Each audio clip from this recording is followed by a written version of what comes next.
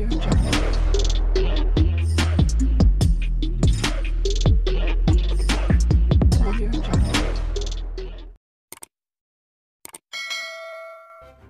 kasih karena memilih channel ini. Sebelum kita mulakan video ini, sila pertimbangkan untuk menekan butang like, share, dan subscribe, dan aktifkan butang lonceng Anda agar Anda sentiasa mendapat info-info percuma pada setiap hari dari channel kami. Dan tinggalkan komen Anda karena komen Anda amatlah dihargai. Terima kasih.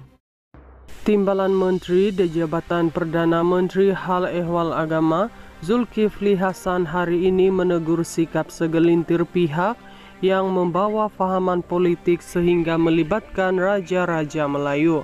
Dalam hantaran secara umum di platform X, Zulkifli berkata tidak ada salahnya untuk seseorang mendoakan raja-raja Melayu dan yang di Pertuan Agung kerana mereka dianggap sebagai ulil amri atau pemerintah.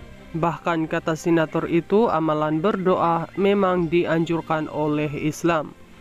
Apalah salahnya kita mendoakan kesejahteraan yang di Pertuan Agung dan Raja-Raja Melayu yaitu para ulil amri. Bukankah doa itu senjata ampuh orang mukmin? Rasulullah Shallallahu Alaihi Wasallam sendiri mengajar kita untuk mendoakan saudara yang lain Katanya yang turut menitipkan sepotong hadis berkaitan perkara itu. Hantaran itu menyusul beberapa hari selepas tular satu akun media sosial seseorang yang dikaitkan dengan Pas Selangor.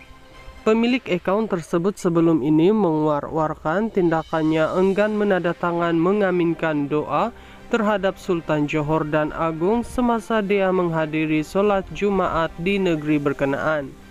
Menurut pemuda terbabit, dia mengambil langkah berkenaan kononnya kerana menganggap doa hanya wajar diaminkan untuk seseorang pemimpin yang mengutamakan Islam. Bagaimanapun sejuru selepas tular di media sosial, dia dipercayai memadamkan hantaran berkenaan sebel, sebelum memuat naik hantaran baru dengan meminta memohon maaf kepada semua pihak yang terlibat. Katanya hantaran berkenaan adalah pandangan peribadinya. Jujur saya agak speechless. Saya mohon maaf atas kekilapan saya. Penulisan saya itu adalah pandangan pribadi saya sendiri. Sungguh memang langsung tak ada niat menghina institusi beraja cuma sekadar pandangan daripada diri sendiri.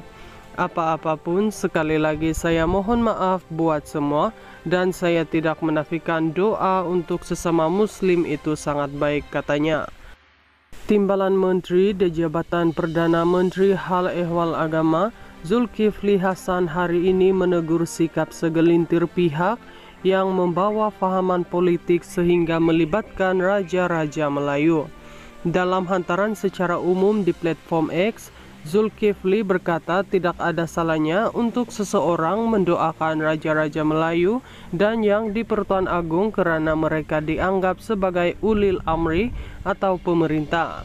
Bahkan kata senator itu amalan berdoa memang dianjurkan oleh Islam.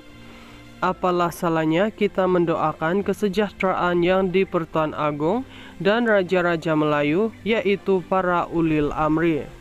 Bukankah doa itu senjata ampuh orang mukmin? Rasulullah Shallallahu Alaihi Wasallam sendiri mengajar kita untuk mendoakan saudara yang lain. Katanya yang turut menitipkan sepotong hadis berkaitan perkara itu.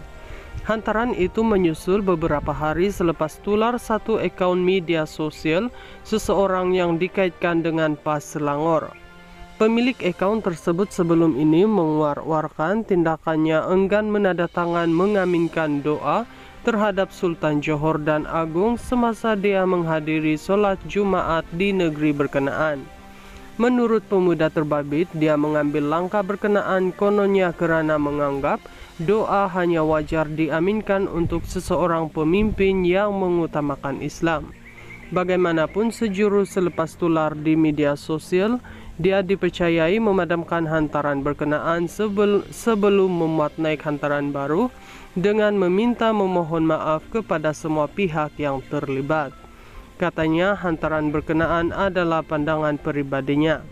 Jujur saya agak speechless. Saya mohon maaf atas kekilapan saya. Penulisan saya itu adalah pandangan pribadi saya sendiri. Sungguh memang langsung tak ada niat menghina institusi beraja, cuma sekadar pandangan daripada diri sendiri. Apa-apapun, sekali lagi saya mohon maaf buat semua dan saya tidak menafikan doa untuk sesama muslim itu sangat baik katanya.